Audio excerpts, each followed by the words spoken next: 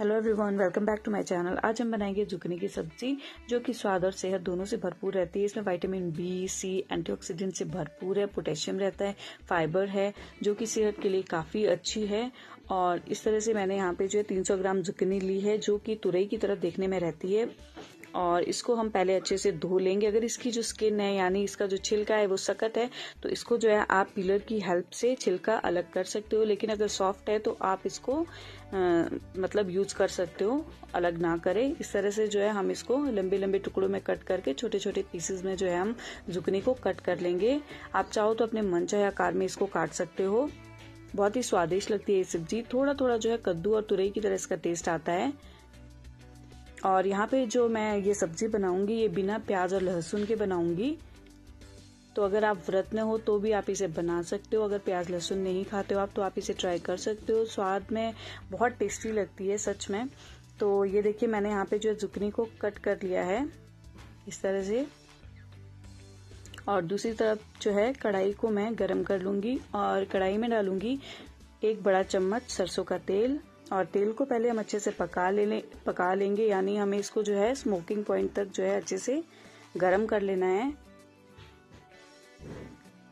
तो आप देख सकते हो कि तेल यहाँ पे जो है पक चुका है। फ्लेम को बिल्कुल हम लो कर देंगे और इसमें डालेंगे एक छोटा चम्मच जीरा और दो लाल मिर्च साबुत तोड़ के डालेंगे।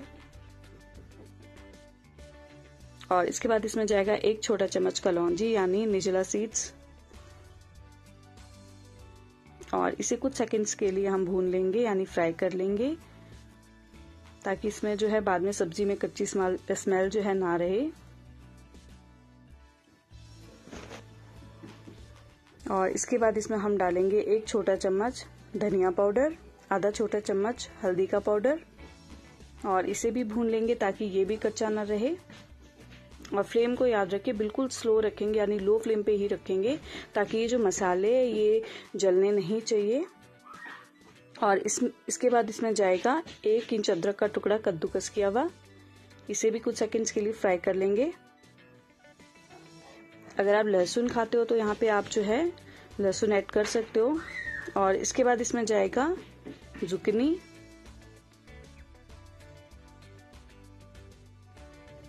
और इसे अच्छे से हम इस, इन मसालों में जो है, मिला लेंगे, ताकि जो भी मसाले है जुकनी में अच्छे से लिपट जाएँ।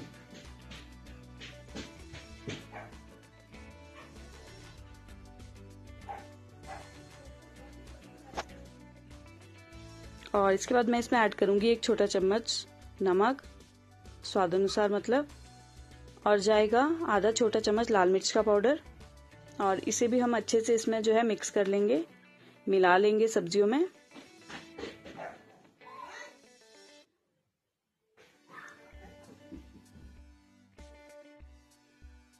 अच्छे से मिक्स करने के बाद इसमें हम थोड़ा सा पानी डालेंगे, दो टेबल स्पून के करीब, ताकि जो मसाले इसमें जले नहीं। क्योंकि हमने सूखे मसाले ऐड किए तो जलने का डर रहता है तो इसलिए थोड़ा सा पानी ऐड कर देंगे। वैसे तो जुकनी में, अपने आप में बहुत पानी होता है तो लेकिन फिर भी हम थोड़ा सा ऐड करेंगे। इसको अच्छे से मिक्स कर लेंगे और इसके बाद इसे हम चार से पाँच मिनट के लिए बिल्कुल लो फ्लेम पे इसे पकने देंगे और चार से पाँच मिनट के बाद चेक करेंगे। ये देखिए, इसको अच्छे से हिला लेंगे।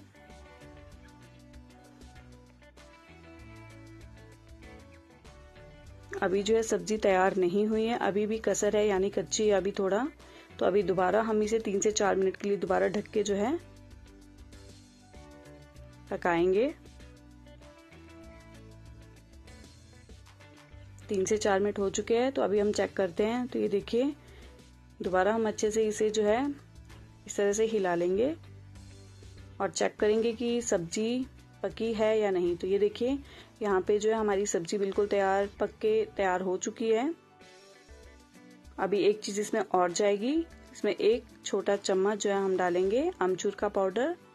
अगर आपके पास अमचूर का पाउडर नहीं है तो आप इसमें नींबू का रस डाल सकते हो, लेकिन याद रखें, सब्ज़ी जब गैस जो है, फ्लेम आप ऑफ़ कर दो, उसके बाद ही आप नींबू का रस डालें, नहीं तो कड़वापन देगा। तो इसे हम अच्छे से मिक्स कर लेंगे। तीस से चालीस सेकंड के लिए, ताकि जो ये हमने अमचूर का पाउडर डाला है, इस सब्ज़ी में अच्छे से मिक्स हो जाए और स्वाद उसका अच्छा है। तो ये देखिए, यहाँ पे जो है तीस से चालीस सेकंड हो चुके हैं। फ्लेम मैंने ऑफ़ कर दी है। हमारी सब्ज़ी जो है बिल्कुल तैयार है। तो अभी मैं इसमें जो है हरा धनिया ऐड करूँगी और इसे अच्छे से मिक्स कर लेंगे। आप इसे रोटी के साथ या फिर चावल के साथ, परांठे के साथ सर्व करें। बहुत ही टेस्टी लगती है और सेहत में भी काफ़ी अच्छी है। ये देखिए, हमारी सब्ज़ी बिल्कुल तैयार है। और अगर आपको मेरी रेसिपी अच्छी लगी हो तो लाइक कीजिएगा वीडियो को और ज़्यादा से ज़्यादा शेयर कीजिएगा। और चैनल को सब्सक्राइब करना ना भूलिएगा। तो मिलती हूँ इसी तरह की अच्छी अच्छी वीडियोस के साथ। Till then bye